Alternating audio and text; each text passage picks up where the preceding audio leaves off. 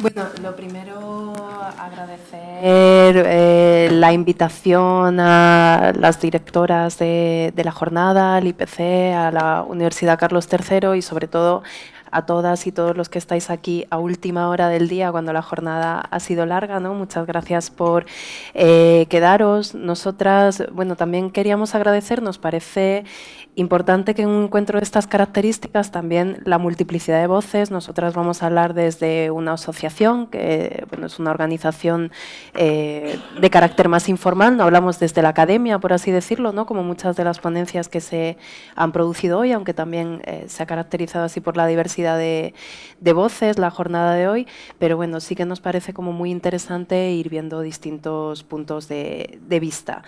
Nosotras eh, somos la Asociación de Mediadoras Culturales de Madrid, fundamentalmente... Bueno, yo sigo hablando. Está un poco alto, ¿no? Os queremos poner un vídeo, si se puede bajar para que no... Eh, Podéis bajar porque estaría guay que estuviera solo de fondo. De fondo.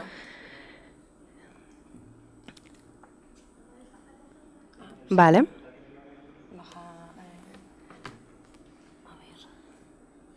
Las mediadoras culturales se nos da muy mal la tecnología.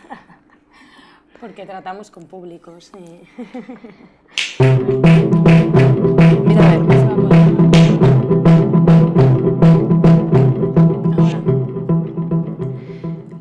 Bueno, creo que así ya no es tan molesto. Nosotras surgimos, como veis en pantalla, os hemos querido poner este vídeo porque es oh, bueno, un resumen visual que hicimos de, lo que fue nuestra puesta en escena o nuestra presentación en público como asociación. Eh, nosotras, pues bueno, representamos a fundamentalmente un colectivo profesional eh, y surgimos eh, pensando que hay una serie de urgencias o que debemos unirnos para actuar en varios sentidos.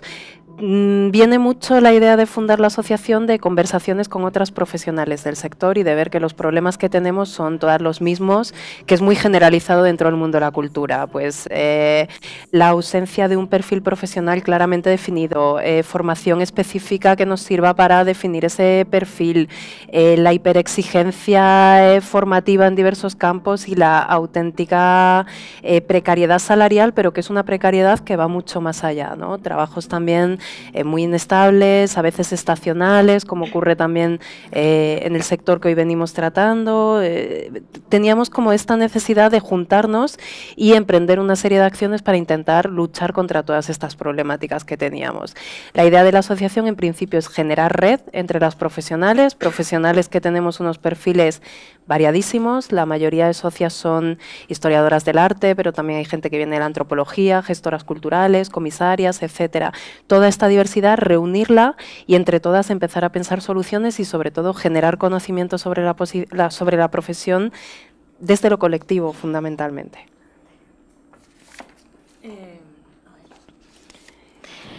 Entonces, para contextualizar un poco, porque a lo mejor, eh, aunque se ha hablado antes un poquito de, mediación, pero para contextualizar qué entendemos nosotras como, como mediación, eh, si estamos aquí también es porque creo que trabajamos con, públicos. Venimos todas de, esos perfiles eh, tan variados, pero si hay algo que nos, que nos une a todas es que trabajamos con públicos, con públicos que son turistas, con públicos que son locales. Eh, con turistas locales, eh, con visitantes, viajeros, todo tipo de, todo tipo de, públicos. Y, bueno, pues utilizamos la mediación cultural, eh, es nuestra profesión, pero también es una, es una herramienta, una, una, disciplina que nuestro objetivo en realidad es ponernos un poco en el medio entre lo que es un objeto cultural y es un público y generar conocimiento en colectivo.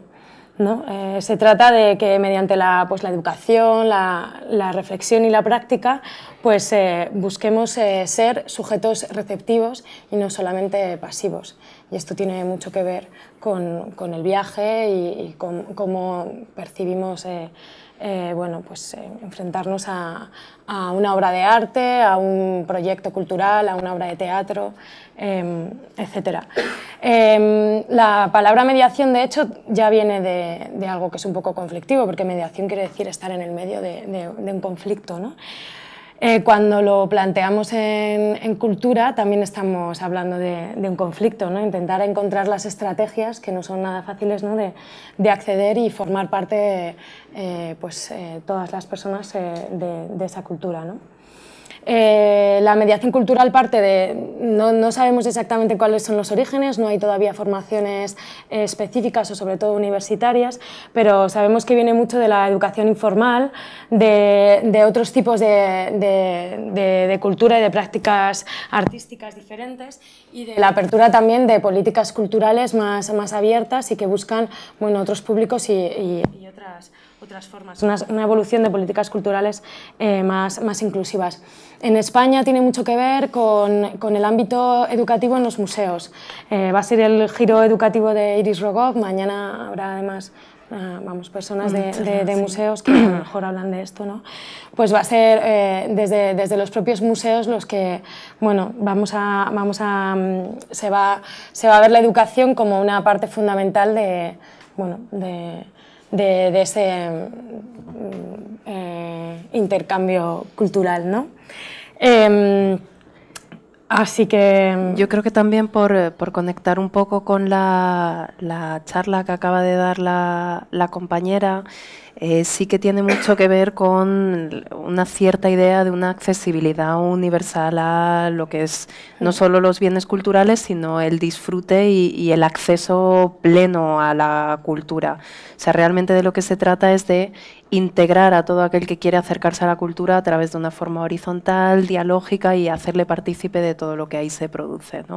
Como decía mi compañera Jara, sí que es cierto que, sobre todo en contexto español, eh, de donde más ha surgido toda esta iniciativa es del ámbito museos, que es un poco donde se ha producido ese giro, ¿no? de empezar a entender el museo no solo como un ente, bueno, el museo, cualquier institución cultural, eh, no solamente como un ente que emite una serie de, de mensajes, sino como un lugar abierto al conocimiento, al intercambio, etcétera.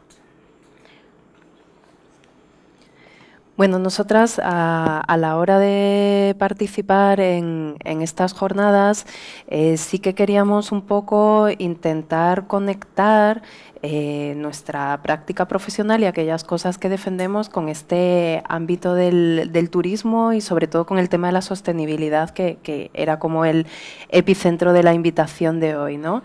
Sí que es cierto, eh, nosotras creemos así honesto, nos parece que también nos sitúa un poco eh, a la hora de acercarnos al turismo, reconocer nosotras como trabajadoras culturales, que es un sector diferente y que muchas veces nos hemos posicionado un poco como antagónicos eh, toda una serie de, de prejuicios perdón, de la que viene cargada la propia concepción del turismo, no solo para nosotras, sino que pensábamos también un poco, eh, incluso a nivel general, ¿no? lo que es cultura popular, la imagen que tiene la ciudadanía del turismo en estos momentos. Es verdad que este año eh, creo que ha sido un año muy bueno, no sé si duro, porque creo que de aquí van a salir cosas buenas, pero sí que se ha castigado muchísimo a la industria turística desde los medios de comunicación. No podía ser de otra manera. La palabra turismofobia ha salido un par de veces a, a lo largo del día, ¿no? Una palabra bueno, no me voy a meter en este jardín. Eh, la cuestión es que, bueno, sí que es verdad que a lo largo del verano, por una serie de problemáticas severas que estamos teniendo, el turismo se ha visto enfrentado a críticas muy duras, muy bien argumentadas, pues desde la crítica a la turistización de las ciudades y la imposibilidad de seguir habitando en ellas, eh, la crítica... Em, el impacto medioambiental, la sobreexplotación que hacemos de los bienes patrimoniales ¿no? y cómo esto de alguna manera los destruye, etcétera.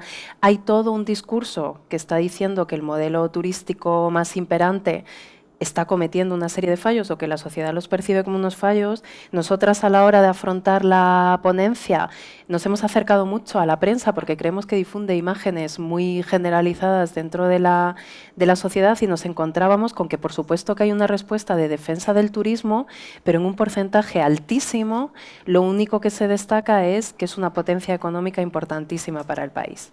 Y nos parece como una respuesta verdaderamente muy simplista que entiendo que no es la respuesta del sector, hoy estáis aquí todos profesionales y, afines y tendréis respuestas mucho más complejas, pero en, términos generales sí que es como la que estamos recibiendo, ¿no? Y al final se queda ahí la cuestión como, como bastante coja, como que nos parece que no es una respuesta que calibre la, gravedad del asunto o a nosotras es un tema que también nos preocupa.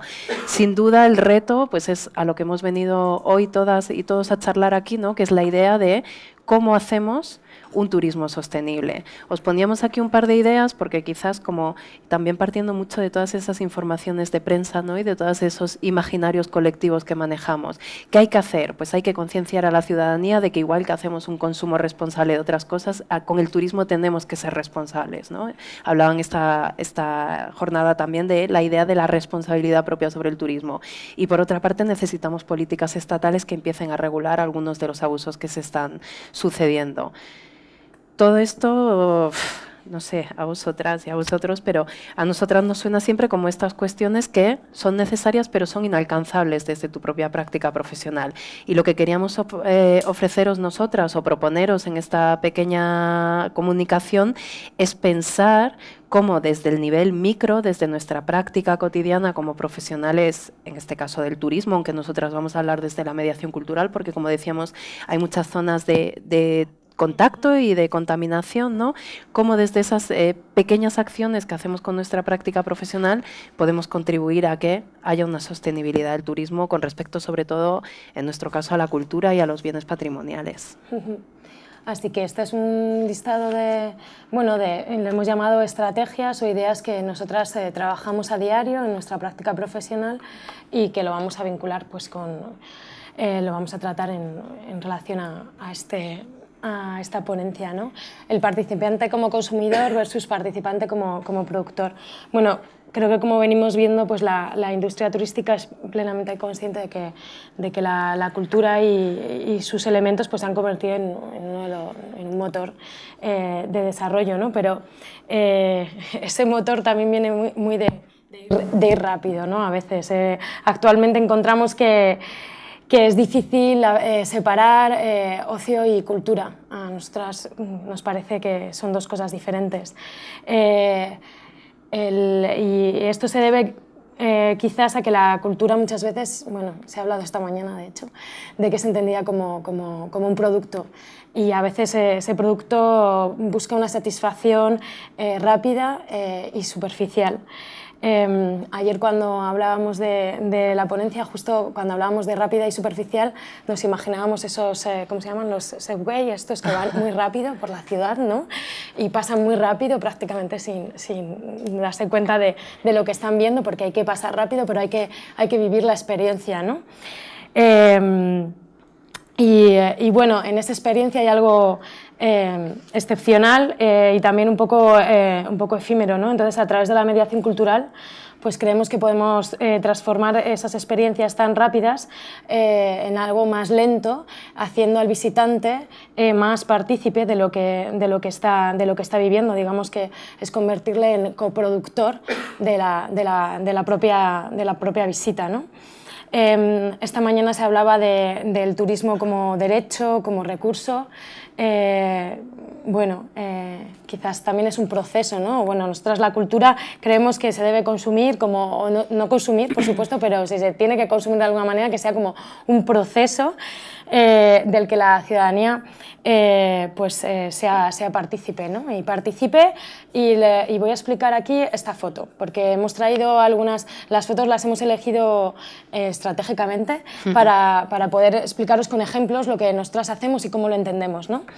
Em, este verano eh, nos fuimos, eh, fuimos invitadas a participar a un encuentro sobre mediación, intercambio de, de, prácticas de mediación artística ah, en Valparaíso en el CENTEX, que es el Consejo eh, de, Extensión, de, o sea, el Centro de Extensión del Consejo Nacional de Cultura de, Chile, que está en Valparaíso. Y eh, este año se, se celebra los 100 años del, nacimiento de Violeta Parra, así que se están generando una serie de actividades, eh, tanto educativas como en muchos museos, sobre Violeta Parra. Y el CENTEX pues, tiene una exposición eh, sobre, sobre, sobre Violeta, sobre la Violeta, como dirían eh, allá, ¿no? Y, y entonces nosotras fuimos invitadas, pero participamos en una actividad de mediación, para que entendáis un poco cómo lo veían ellas, que, lo, que, que compartimos muchas cosas en común. Bueno, em, se dieron cuenta de que todo el mundo que venía a la exposición podía decir algo de Violeta Parra algo bueno o malo. Y entonces nos invitaron a participar, a ver la exposición de otra manera. Nos dieron una banqueta y nos dijeron que nos fuésemos a la plaza de, de, ahí que rodeaba el Centex y que nos sentásemos en una banqueta como hacía Violeta Parra con la gente que iba por todos los pueblos de Chile, pues eh, eh, investigando y aprendiendo sobre, sobre la cultura popular de, de, su país y preguntando qué sabían de, Violeta Parra. Cada uno fue a, a investigar, eh, eligieron carabineros, se eligieron taxistas, eh, kiosqueras, eh, de todo. Y estuvimos charlando un rato, cada uno teniendo su propia experiencia, pero una experiencia tranquila, dilatada en el tiempo, no teníamos prisa. Volvimos y se había creado un, bueno, ese muro en el que fuimos escribiendo eh, bueno, las experiencias de la gente y luego lo compartimos ¿no? y generamos un relato diferente en torno a la exposición y en torno a esa propuesta eh, cultural. Nosotras en realidad veníamos de España, sabíamos algo de Violeta Parra y al final podíamos eh, incluso como ser unas turistas también allí. Pero al integrarnos en esta actividad, pues eh, recibimos algo que fue muy positivo, que fue un aprendizaje con la gente, con la gente local, con la gente de, con la gente de allí. No, entonces, bueno, pues creemos ¿no? que todos estos bienes eh, patrimoniales, que también son inmateriales, ¿no? pues deben ser tratados como, como bienes colectivos que, pues que propicien el, debate ciudadano en torno a la identidad, al empoderamiento, a la, conservación eh, del medio ambiente, eh, etc. Eh, una de las citas que hemos encontrado en todos estos artículos periodísticos, vamos a leer así algunas de, vez en cuando, una que, nos gustó para, bueno, para seguir liando con, ligando con la siguiente eh, diapositiva, es que el, responsable de turismo de Burdeos pues, mm, afirma, la clave para un buen turismo es planearlo para la gente que vive ahí, para los ciudadanos, y si, y si se hace bien, entonces el visitante será feliz también. ¿no? Nosotros a, a, través de esta experiencia también tuvimos relación con, con el propio visitante y bueno, así lo podemos enlazar con... sí, nos parece también muy interesante. Eh, yo pensaba, mientras hablaba la compañera que, que, hablaba antes, todo este modelo del Airbnb, que yo creo que está ahí como en el centro, ¿no? Y el, y el propio impacto que tiene las ciudades. Y hablabas eh, que, bueno, realmente no, uno de los problemas que ha habido a la hora de gestionar esos modelos de turismo es no tener en cuenta a las comunidades que residen en esos espacios turísticos, ¿no? Y para nosotras dentro de la práctica de la mediación cultural, sí que dentro de todas las acciones que hacemos la comunidad que previamente existe y el generar nuevas comunidades son fundamentales. ¿Cuál es la importancia de que alguien que va a participar a una actividad cultural no solamente vaya a consumir un producto que previamente se ha diseñado para él o para ella? Pues la importancia es, primero, que ese producto, como lo está coproduciendo, se va a adaptar a sus necesidades, que va a entrar en contacto con otras personas que están eh, asistiendo a esa misma actividad y, en el mejor de los casos, va a entrar en contacto también con la comunidad que ya previamente existe en este espacio. La mediación quizás una de las claves fundamentales es la de generar espacios de encuentro, espacios de encuentro donde a través del debate, del cuestionamiento, del diálogo se pueda dar lugar a nuevos aprendizajes, donde se entremezclen los saberes, que esto también tiene mucho que ver ¿no? con, con, lo que veníamos hablando. Nos, para nosotras también el tema de la accesibilidad, o sea, es una accesibilidad también a cualquier tipo de saberes, todo el mundo tiene saberes válidos con respecto a la cultura y todo el mundo puede intercambiar y enriquecerse mutuamente, que nos parecía como muy central. ¿no? Si pasamos a la siguiente todo esto en realidad está muy conectado, pero no queríamos dejar de, señalarlo todo esto se construye siempre desde lo colectivo, lo colaborativo, lo horizontal, o sea, la idea es siempre que eh, todas estas experiencias de carácter cultural o si las extrapolamos al carácter turístico, no es algo prediseñado y cerrado, sino que se va generando como en esa hibridación. Para nosotras es importantísimo admitir la diversidad y admitirla como riqueza, es la base en realidad de toda la práctica y yo creo que podemos pasar a la siguiente. Bueno, sí que quisiera añadir una cosa, disculpad, que tenía por aquí anotada. Creo que también este pequeño giro, porque se produce en este momento, porque es una forma de trabajar que nosotras defendemos, es también porque creemos que las experiencias de carácter cultural o turístico en este caso eh, deben de adaptarse de alguna forma también a los modos propios de aprendizaje de la contemporaneidad. La gente ya no desea asistir a un lugar donde se le ofrece una información unidireccional, un paquete cerrado, etcétera, sino que quieren participar, quieren pronunciarse y quieren hacer lo suyo. ¿Sí? Mm, sí, bueno, no, no, seguimos con esto. Em, y al, al, hacer lo suyo también nos planteábamos ¿no? la, la, eh, este tema de la, de la, accesibilidad cultural. ¿no? Esta mañana se cuestionaba el derecho al, al, al turismo, se ha hablado así en, en, en un par de ocasiones. Eh, ha salido antes también eh, una ley.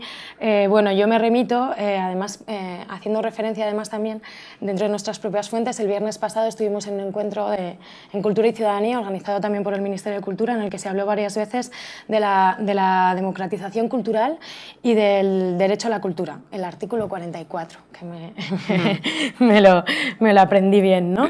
Y, y, hablamos de eso, llevamos hablando de la, de la accesibilidad eh, de cómo llegamos a ella y, cómo, cómo, viajamos a, estos espacios, muchas, muchas veces también, eh, eh, bueno, vuelvo a, lo de antes, ¿no? pero demasiado, demasiado rápido, sin darnos cuenta muchas veces también de, de lo que tenemos al lado. A veces nos, bueno, no... no ¿cómo explicarlo? No nos damos cuenta de que muchas veces intentamos salir eh, fuera de cuando tenemos que viajar, tenemos que verlo todo y no nos damos muchas veces cuenta de que lo que tenemos también a nuestro alrededor, pues también eh, hay, muchos museos, muchas eh, prácticas culturales ¿no? que pueden ser también eh, bien, bien interesantes. ¿no? Y, pero muchas veces no, nos damos cuenta ¿no? que tenemos que viajar como para, para, para, acceder a esa cultura ¿no? y otras veces hay veces que, que, no, que, no, hace falta y hay prácticas de mediación que nos ayudan a comprender esto. Eh, esa foto hace referencia a un proyecto eh, que es un museo móvil, es un camión como pueden ver, puede ver todo el mundo, eh, que viajaba eh, por es un museo de arte contemporáneo para niños y niñas y entonces decidió, eh, la persona que creó que fue este museo, que fue una comisaria, decidió que, que, el arte tenía que llegar a aquellos sitios a los que generalmente no, no, no llega. Eh, y entonces iba viajando por pueblecitos pequeños. Pero no era poner el camión y que la gente entrase y viese que ahí había eh, arte, sino que se necesitaba de ese elemento humano que ayudase a las personas a hacerlas partícipes de, bueno, pues de, de, de esa visita. ¿no? Y además esto enriquecía mucho, las, eh, bueno, eh, esto lo conozco porque bueno, yo participé como, como, como, mediadora y entonces lo que nos dimos cuenta también al, al ir a estos pueblecitos es que esto, el arte contemporáneo, lo, eh, todas las personas que venían a visitar el museo lo conectaban con patrimonio que tenían en sus pueblos. O sea, ese triángulo que ven ahí es, es un triángulo de Daniel Buren, pero es arte urbano. Y cuando nosotros pre nosotras preguntábamos que, que, si conocían arte urbano, la gente se daba cuenta de que en sus pueblos y en sus ciudades también había arte urbano y que no hacía falta irse eh, a grandes museos para encontrarse eh, el arte, ¿no? y que viajar, hay veces que también podemos viajar a, eh, dentro de, de, de, de, nuestro pequeño barrio, de nuestro pequeño pueblo. Otra de las citas que, que me gusta mucho también y que, y que les voy a leer es, no hace falta irse tan lejos, lo es la actitud y la curiosidad. Camilo José Cela, en Viaje a la Alcarria, o Patrick Leite Fermor, que recorrió a pie Europa, enseñan que la, maravillosa, eh, que la maravilla guarda en cualquier lugar si uno tiene la curiosidad y se toma el tiempo de observarlo. O Jack London y Paul Cerus en sus viajes en tren. Es muy posible, solo hay que viajar de otra manera, a ritmo humano. Bueno. Yo quisiera añadir por añadir también un poco de fricción, porque me gustaría mucho, aunque sé que la hora es complicada y estáis cansados, que al final tuviéramos un pequeño debate, porque creo que sí que se han conjugado hoy como muchos de puntos de partida diversos y bueno, poder debatir sobre esto, ¿no? Yo eh, a lo largo de la mañana escuchaba, eh, bueno, eh, hablar del, tema del turismo y de algo que se ha debatido mucho durante estos días, que es la idea de intentar generar o intentar atraer, mejor dicho, a un turismo de calidad.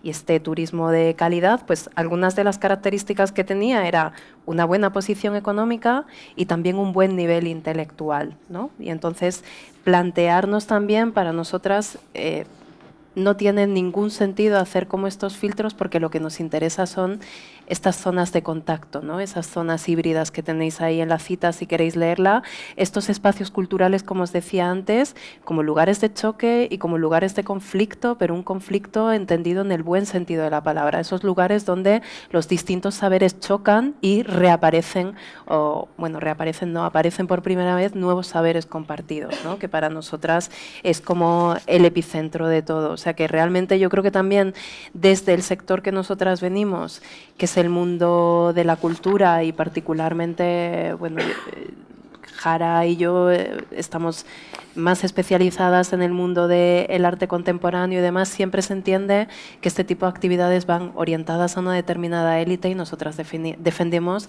absolutamente lo contrario. ¿no? Lo, que, lo que nos interesa es la mezcla y el activar comunidades y ver que unos pueden aprender de otros.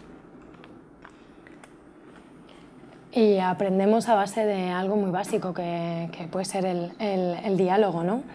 Eh, bueno, lo que ponemos ahí es clave, ¿no? Ya, ya, son muchas las personas que ya no quieren ser eh, solo meras espectadoras y quieren eh, involucrarse en esa, en esa actividad cultural cuando viajan y quieren participar de, de la cultura de, de, de, algún modo, ¿no? bueno, estamos, esa foto, pues, que es del Thyssen, ¿no? Mm, arte, museo de, un gran museo de arte. El arte reflexiona sobre el presente de cada, de, cada artista. ¿no? Y, para mí, cuando mi trabajo como mediadora, siempre me planteo ¿no? que al final todas las personas, pues, o sea, los cuadros nos van a, nos van a inspirar. También, también, también podemos hablar sobre, sobre el presente contemporáneo que nos, que, no, que nos, que nos inspira. ¿no? O sea, no hace falta solo que nos cuenten las cosas, sino todo nos va a transmitir, nos van a transmitir eh, eh, cosas y podemos eh, dialogar sobre sobre, sobre nuestros presentes. Eh, de hecho, esta mañana también eh, recuerdo varias iniciativas que, de las que habló eh, Araceli, como Gregory Pixel, Basurama, Paisaje Transversal. Son ideas y, son además personas, o sea, son colectivos con los que, de hecho, nosotros hasta tenemos contacto, ¿no? que, que, creemos que van mucho en la línea de, de lo que de lo que, en la misma línea, ¿no? de utilizar ese, ese diálogo y ese trabajo colectivo para, para, para generar conocimiento. Eh, en esta foto, no sé si les sorprende algo, pero está todo el mundo sentado, ¿no? charlando, con tiempo, dialogando. Es una visita comentada. ¿vale? Eh, ella es una mediadora compañera, además, y, bueno, está, de hecho están como en la misma posición que el propio cuadro, ¿no? sentada. ¿no? Han adoptado la posición del cuadro para dialogar tranquilamente, ¿no? pausadamente.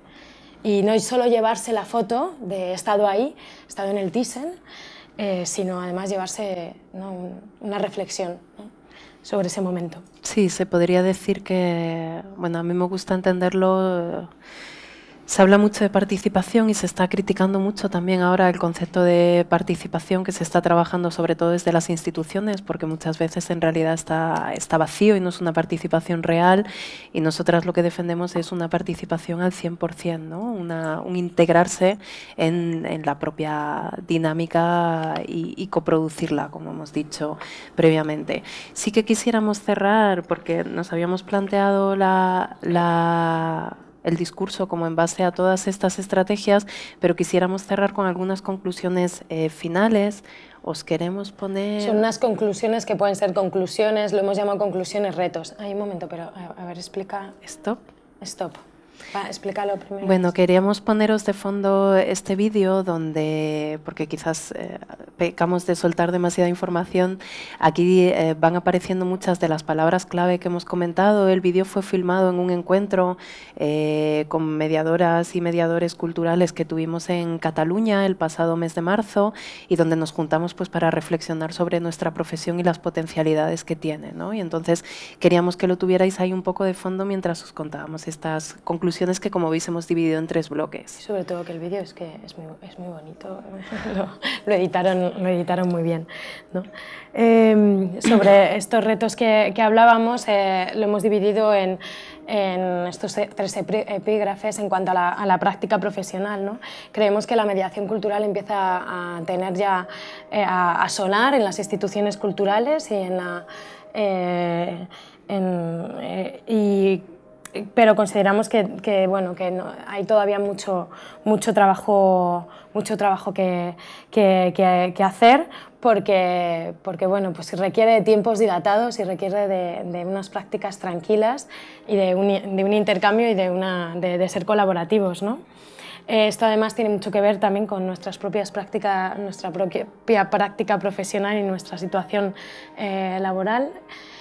Mm, que, no acompaña. ¿no? Esta mañana se hablaba mucho de números ¿no? y, y, de cuánto se deja la gente eh, cuando viaja, ¿no?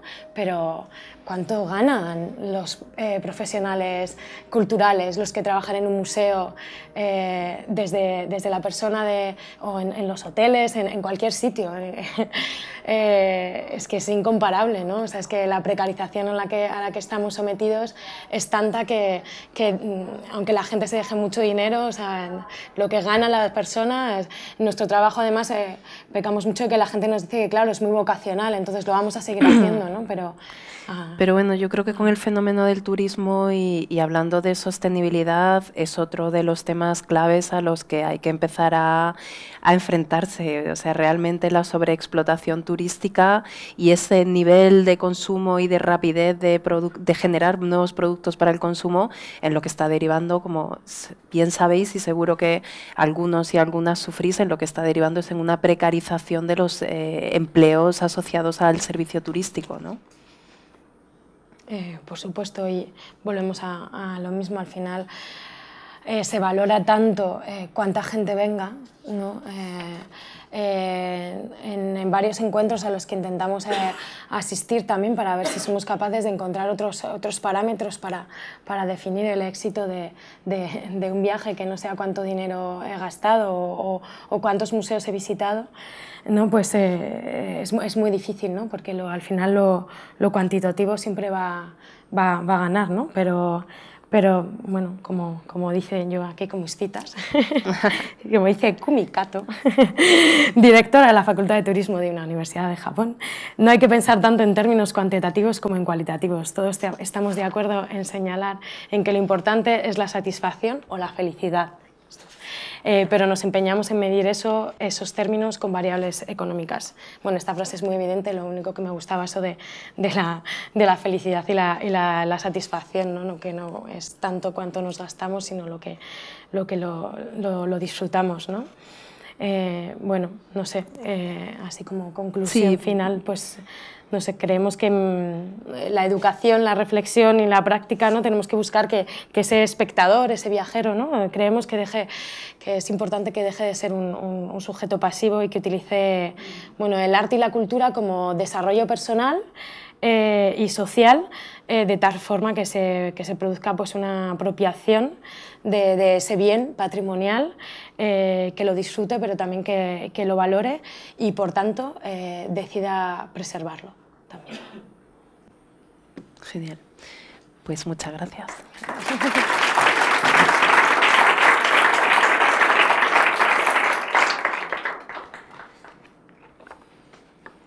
Preguntas, peleas. Sí, solo como una pequeña corrección.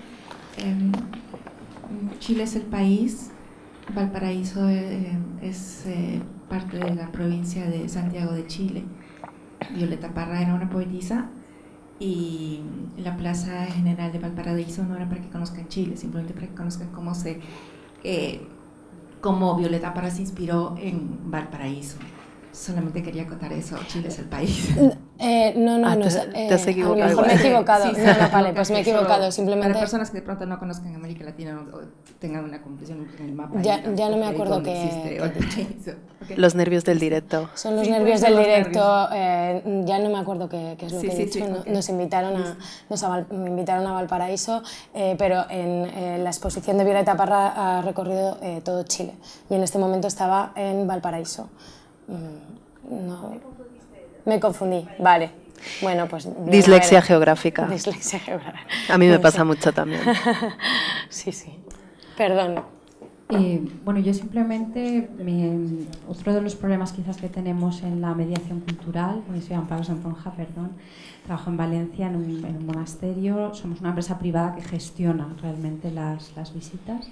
Y uno de los problemas también que tenemos en la mediación cu- cultural es un poco el conflicto entre que soy un mediador o soy un guía. Y luego otro problema es que no siempre la visión de un guía, guía turístico, que a mí no me gusta la palabra, debería ser un guía cultural, está mal visto. ¿no? Yo no quiero ir ahí que me cuenten una historia que yo ya me la sé muy bien. ¿no? Entonces, claro, tu trabajo es... eh, tienes que hacer el doble de esfuerzo para que comprendan que tú no eres un simple guía, que les vas a... Es un poco fea la palabra, pero a vomitar una historia. Tú eres una persona con una formación, en mi caso, yo soy historiadora del arte como tú, eh, especialidad en gestión de patrimonio arquitectónico, y yo no les voy a vomitar una historia, yo voy a interpretar lo que ellos no son capaces de ver, con los instrumentos que yo tenga, con las herramientas que yo tenga, que no siempre son fáciles cuando somos empresas privadas, porque otro de los problemas añadidos es la precariedad laboral, efectivamente, como habéis dicho, y las empresas que nos dedicamos al turismo cultural lo tenemos muy mal, porque, pues bueno, trabajamos en, en bienes, en mi caso es un, monumento nacional bien de interés cultural, eh, con otros problemas añadidos, eh, administración, el tema de propiedad, la iglesia, etcétera. Entonces, bueno, tenemos un trabajo, la verdad que muy complicado y era simplemente un poco, pues, eh, pues sí, ponernos... Me ha sorprendido que en, esta, en, en estas jornadas eh, la figura de que en unas comunidades es importante, otras no, también esa, esa Mm. historia, ¿no? que también eh, bueno, pues no hay quizás ningún representante de asociaciones de guía de turismo, pero yo creo que a lo que deberíamos tender es efectivamente a, más bien a la mediación cultural, porque incluso aunque no trabajemos en un museo o en un monumento, como es mi caso, interpretar el patrimonio histórico de una ciudad no se puede dejar tampoco en manos de cualquiera. Entonces eso también es otro problema añadido quizás eh, si queremos dar un turismo de calidad al final. Entonces, bueno, era simplemente daros esta, esta idea. No, muy, o sea, me gusta mucho lo que dices porque al final en este tipo de exposiciones como que no da tiempo a, a hablar de todo, pero sí que el tema de la terminología es todo un tema también dentro del sector. Parece que funcionamos por oposición, eh, mediadores culturales y guía. No, yo no soy guía porque, o a nosotras nos pasa mucho porque ambas hemos trabajado mucho, bueno, y muchas socias en ámbito museos, es el dilema entre llamarte educadora o llamarte mediadora cultural, ¿no? Que ha sido como muy típico. Dime.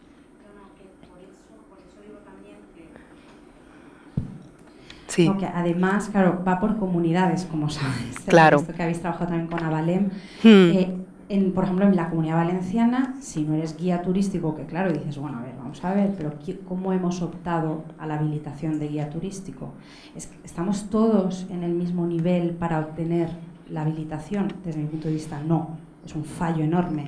No sé en otras comunidades, porque es que encima no hay unidad tampoco, como sucede en otros países. En Francia, por ejemplo, sí que hay una unidad a la hora de tener un, un carné ¿no? que habilite a las personas para explicar el patrimonio. Es que al final estamos explicando cosas que tenemos que conocer muy bien. Y, y con- y vosotras, por ejemplo, trabajáis mucho con arte contemporáneo, yo trabajo más con, con- con patrimonio arquitectónico, histórico, no tiene nada que ver una cosa con la Hmm. otra. ¿no? Entonces, perdona ¿eh? que te haya. No, no, al contrario. ¿Cómo nos denominamos? Pues según la comunidad te tienes que denominar de una manera o de otra, te guste o no. ¿eh? Claro. Era simplemente eso. Para nosotras también es muy importante, ¿no? O sea, toda, toda esta guerra de denominaciones que hay, sobre todo nosotras entendemos, eh, gran parte de nosotras, la mediación cultural también como una serie de estrategias. Es decir, que el ser guía turístico no necesita necesariamente, como tú decías, ¿no? que sea una persona que delante tuya te vomita un montón de información, sino que a lo mejor está utilizando estrategias de mediación, pero desde otra postura, porque también, como bien dices, luego es un tema también político. En esta comunidad te conviene más ser guía, en la otra te conviene más ser... O sea que también hay como toda esa complicación. ¿Más?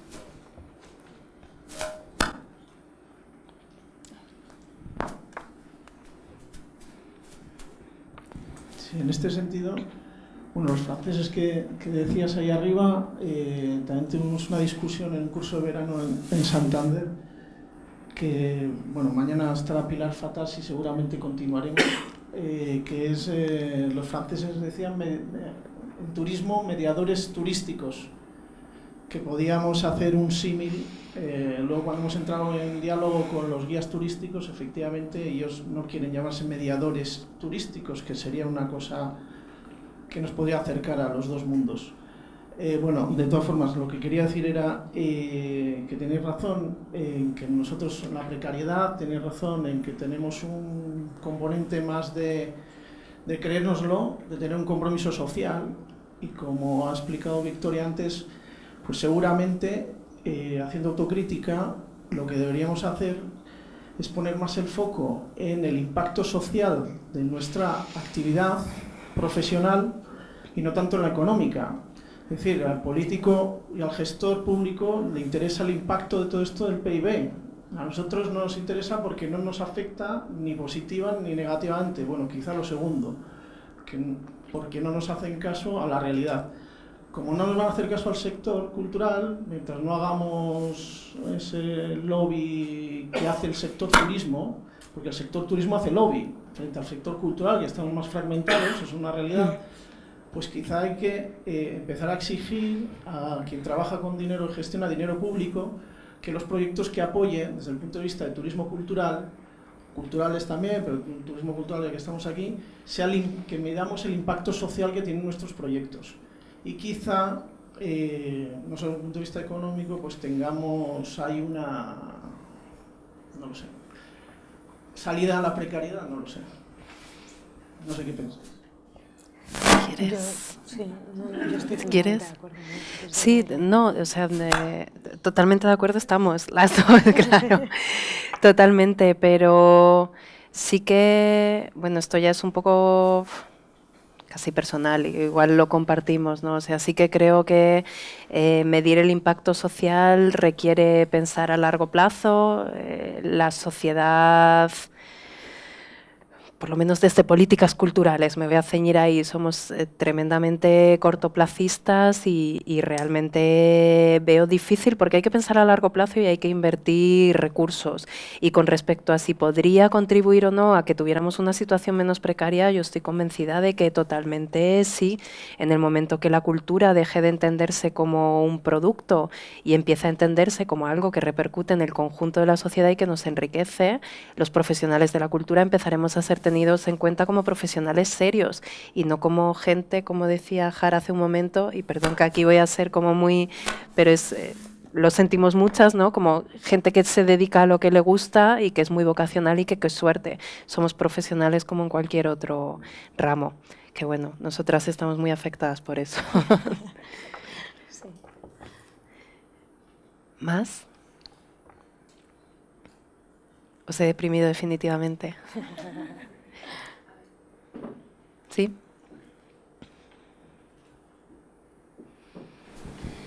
Eh, yo tengo eh, cierta curiosidad por saber alguno de vuestros proyectos, conocer, que, aunque sea contárnoslo un poco a viva voz, sin, sin, el, sin un PowerPoint, pero que nos contéis algo de lo que estáis haciendo ahora. ¿Desde la asociación o...? ¿O vosotras como que tenéis diferentes, proyectos? Mm, bueno, sí. Sí, sí, sí, claro, no, está, estábamos pensando cómo, cómo y, qué contar, ¿no? O sea, yo creo que habría ahí tres patas, o sea, sobre todo desde, primero desde lo que es el marco asociación, eh, sobre todo lo que estamos trabajando es en generar red, que para nosotras es importante porque, como decía el compañero, el sector cultura está tremendamente fragmentado, ¿no? También las mediadoras culturales, como señalaba la otra compañera, en muchas ocasiones estamos subcontratadas, atomizadas, entonces para nosotras generar red es fundamental. Hacemos muchas actividades en las que lo que intentamos, ¿sí? No, no. Ah. Sí, una, eh, por conectarlo con lo que decía la compañera también, porque lo que nos pasa es que nos encontramos con, nosotras nos llamamos, pues, eso, asociación de mediadoras, ¿no? Pero que, que lo que intentamos es generar redes eh, mm, para, eh, digamos, como acoger a, todo, a todas las personas que están haciendo mediación y muchas veces no lo saben que pueden ser guías, que pueden ser gente que trabaja también con el turismo o, no, pero que no, no, lo saben. Entonces esas redes vienen mucho de por ahí.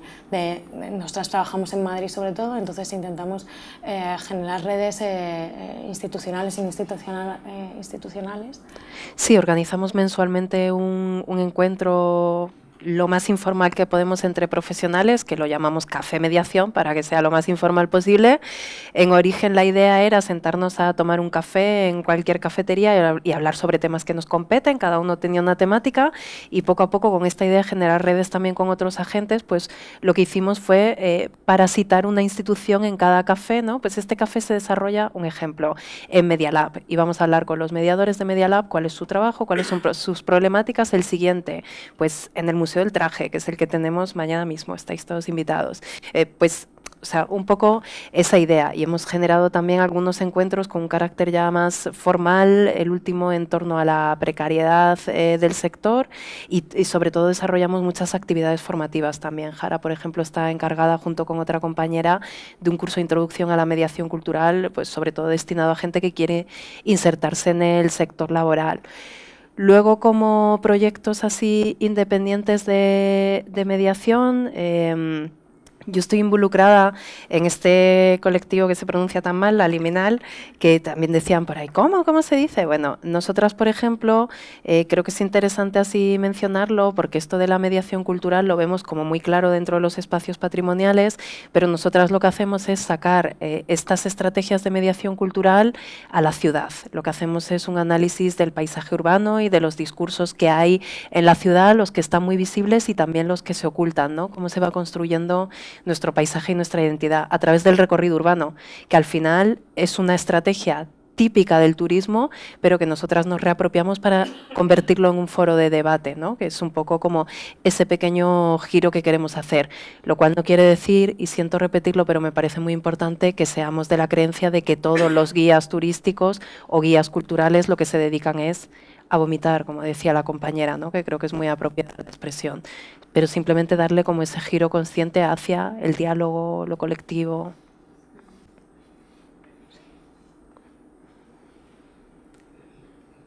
¿Más?